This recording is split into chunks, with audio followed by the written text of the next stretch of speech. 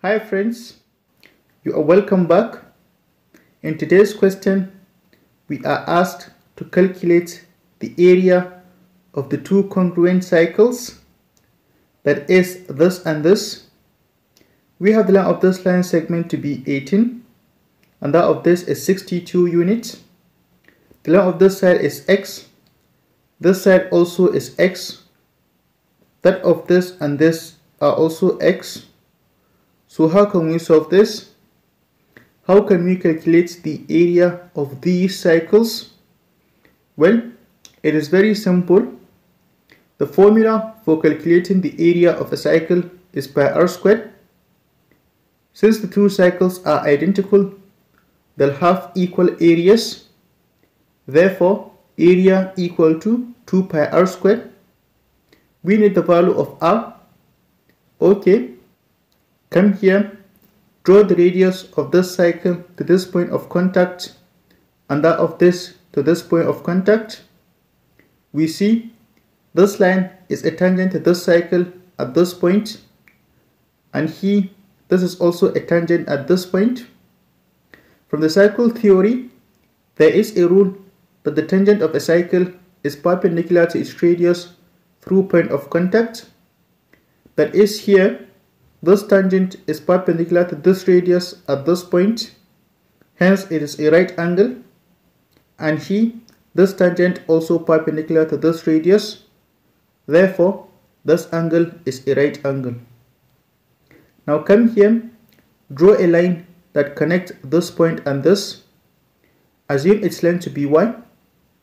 Now look at this triangle.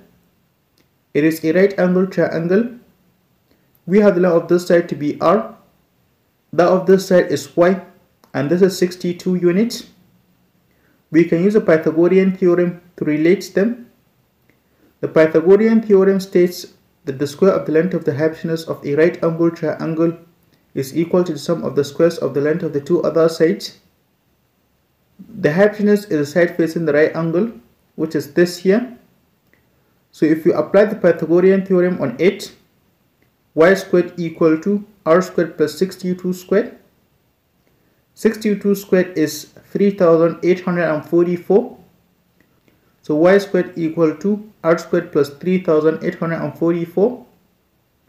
Look at these two circles. They both touch at this point. From the circle theory once again, there is a rule that if two circles touch at a point, their point of contact lies on the straight line that connects their centers. So here, since this is the center of this circle and this is that of this circle, based on this rule, this point of contact lies on the straight line that connects them. It is obvious that this segment is a radius r and this is also a radius. Now come here, draw a radius to this point of contact and here also draw another this point of contact.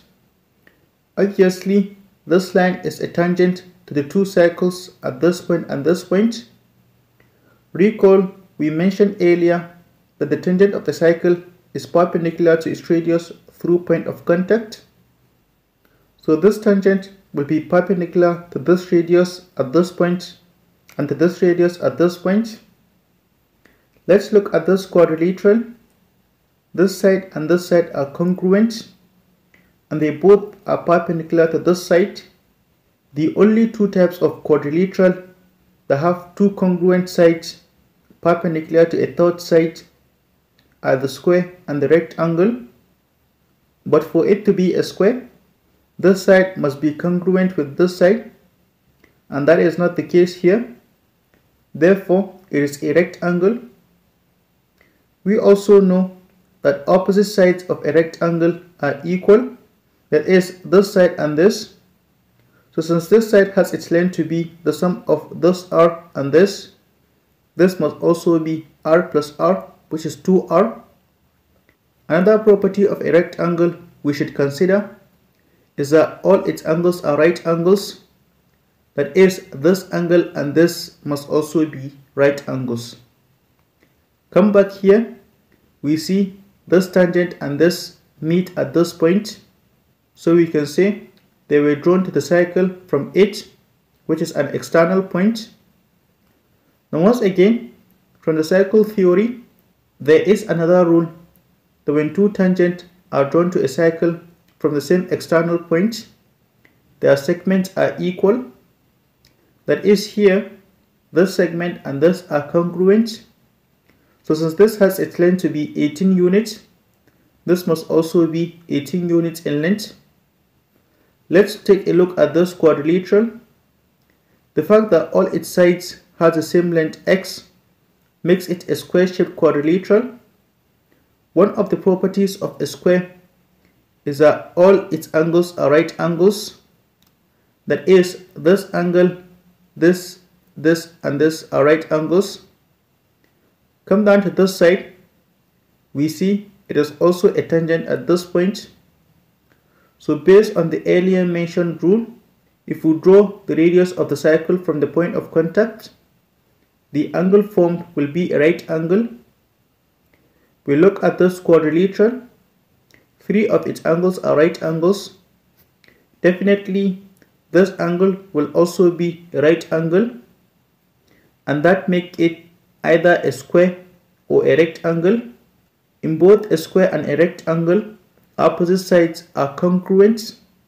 That is, this side and this are congruent, and this and this are also equal.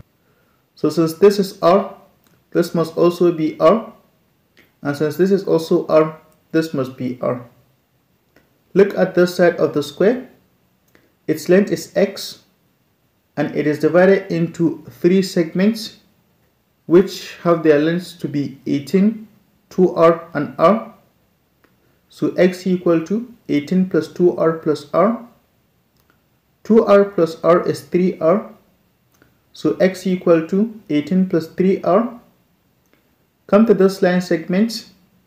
Since its length is x and it is divided into two segments, one of which is r, the other must be x minus r.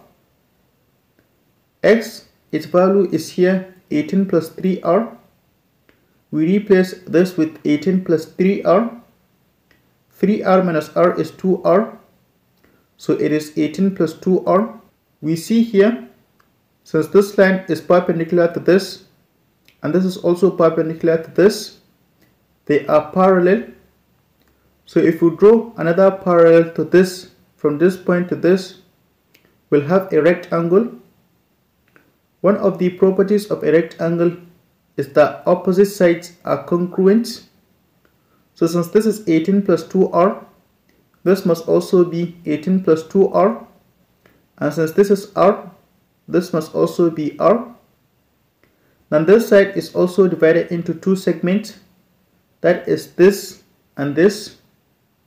So since this has a length to be r, this must be x minus r. x is 18 plus 3r 3r minus r is 2r. So it is 18 plus 3r. Definitely this is a right because it is an angle of this rectangle. Now look at this triangle. It is a right angle triangle. We use the Pythagorean theorem on it. Since this is the hypotenuse, the square of its length must be equal to the sum of the squares of this and this. So y squared equal to 18 plus 2r all squared plus 18 plus 2r all squared. 18 plus 2r all squared plus 18 plus 2r all squared can be written as 2 times 18 plus 2r all squared. This y squared, recall, we have its value here to be r squared plus 3844. Substitute it here. So r squared plus 3844 equal to 2 times 18 plus 2r all squared.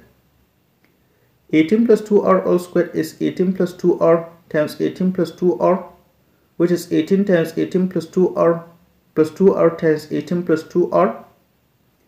18 times 18 plus 2r is 324 plus 36r and plus 2r times 18 plus 2r is 36r plus 4r squared.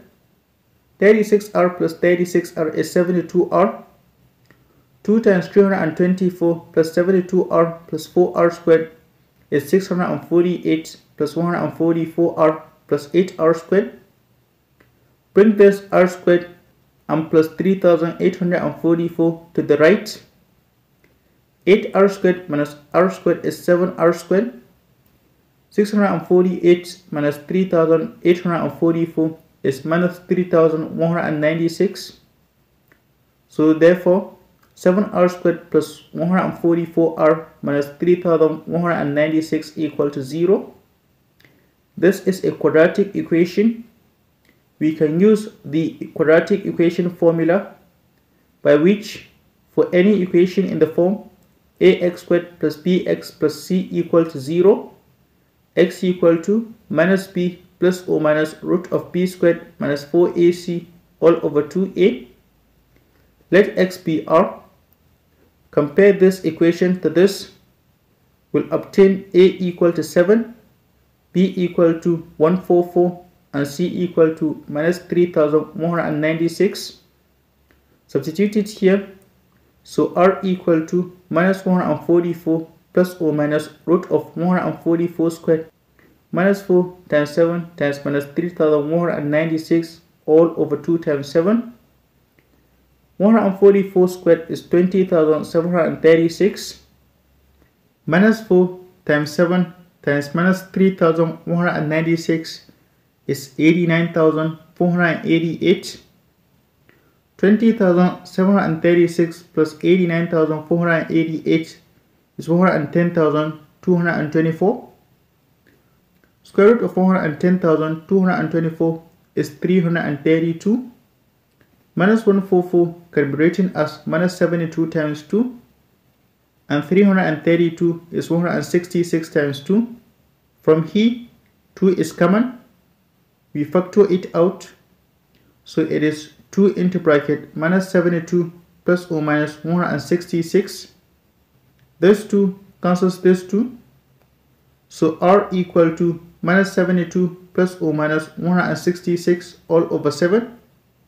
That is R equal to minus 72 plus 166 all over 7 or R equal to minus 72 minus 166 all over 7. Minus 72 plus 166 is 94. Minus 72 minus 166 is minus 238 r is the radius of these circles it can't be a negative number we discard this therefore r equal to 94 over 7 come here substitute it. 94 over 7 all squared is 8836 all over 49 2 pi times 8836 all over 49 is 17,672 pi all over 49. So area of congruent circles equal to 17,672 pi all over 49 square units. Thank you for watching. Please subscribe, like, share and comment and also turn on notifications. Thank you.